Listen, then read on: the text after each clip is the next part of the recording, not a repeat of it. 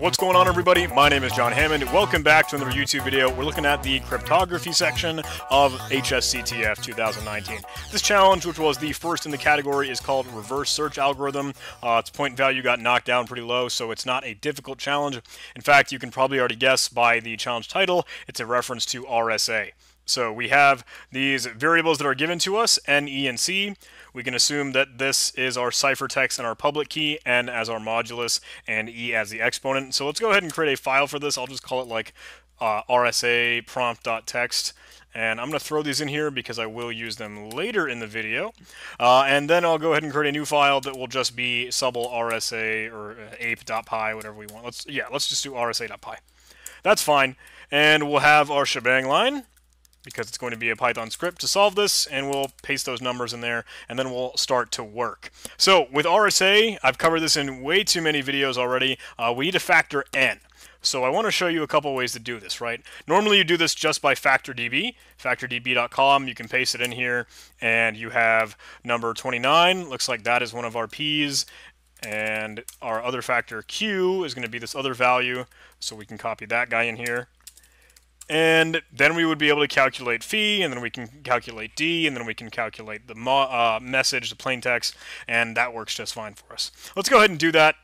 Just whip it out real quick. So from crypto util.number. We can import inverse, and I also want to import long to bytes because I was remembered. Thank you to that uh, fellow viewer, and thankful. I'm, I'm very grateful for you and, and sharing that long to bytes can totally be able to print out an integer representation straight to ASCII and give us the flag. So let's calculate phi, right? Phi is the inverse of e and phi.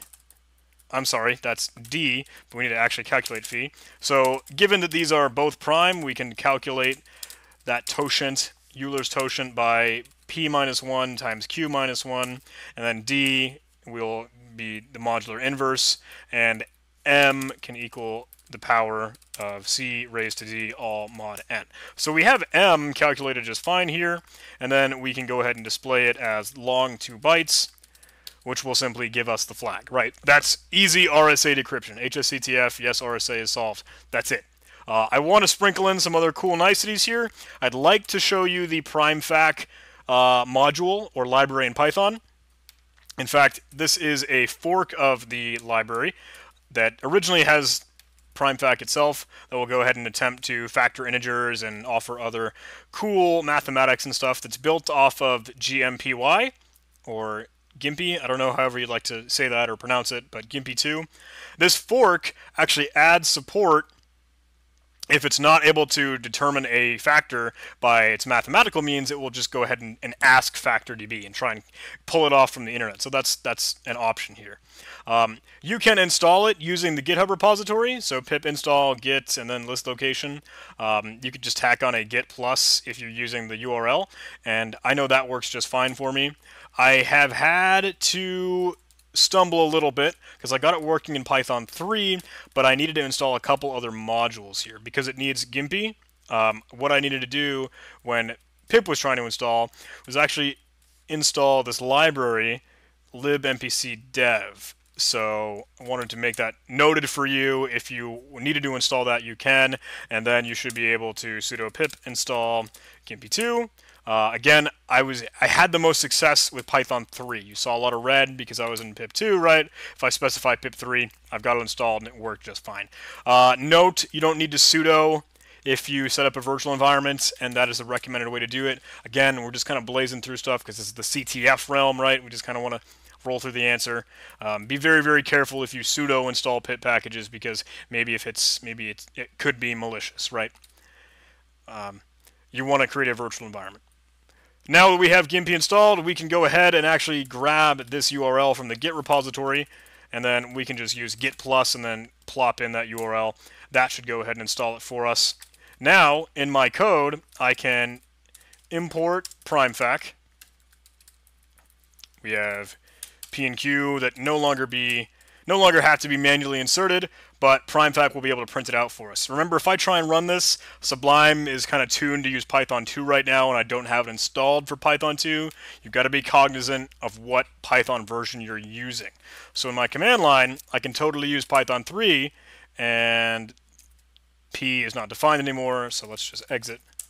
But now you know, okay, there aren't any errors that would pop up because we were able to import PrimeFac just fine. Sublime Text is the one that's in the wrong right now because it's using Python 2. Because I have PrimeFac installed for Python 3, we're a-okay. Okay, so now PrimeFac has this nice handy-dandy function called factor ints, and you just pass in the number or variable in this case that you want to factor. So let's display those and we'll print it out here. 29 is one factor, and this other value is another factors, and that's the number of occurrences that is in the prime factorization. So we can pull these out, right? We can say items, or I'm sorry, what is it? It is keys, isn't it? Dict, yes, dict keys. So then we can say P and Q will equal those that are not printed. And I'll actually just print out P and Q to make sure we got these a-okay. And we do. So now we don't need to like hard code those values in. PrimeFac will be able to calculate them and figure them out for us. And phi will be able to calculate this, D will calculate, M will calculate. It all works perfectly fine now. Now we have a, a bytes representation of the flag. So yes, we have solved RSA. Awesome. So that's it. I want to showcase one last thing because I want to show off Katana. Katana will be able to do this and just crank it out. So let's get into GitHub Katana. I will activate the virtual environment. As I said, again, that's the better practice. Uh, let's remove results. Let's run Katana. We'll use all here, and then we'll offer, so tag A for auto, not all, right? It'll use all units that it can find applicable. HS is now RSA prompt.text, and our flag format is HSCTF curly braces. Paste that in here, and it should crank through it because all that prompt has are N, E, and C, those values included in there. It's found those and detected, okay, that's going to be likely RSA, factored it with that PrimeFac module I just told you about, knew how to calculate phi, know how to calculate D, and spat it out for us. So all you need to do is give it the prompt, and Katana will solve it. Cool.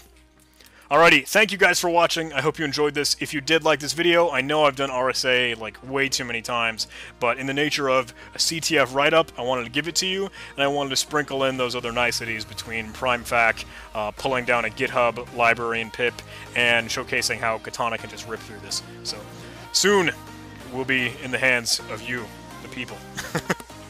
Alrighty, if you like this video, please do like, comment, and subscribe. Love to see you in the Discord server, link in the description. Join the party. Uh, love to see you on Patreon, love to see you on PayPal. Thank you for your support and whatever you're willing to uh, help the channel with. See you in the next video.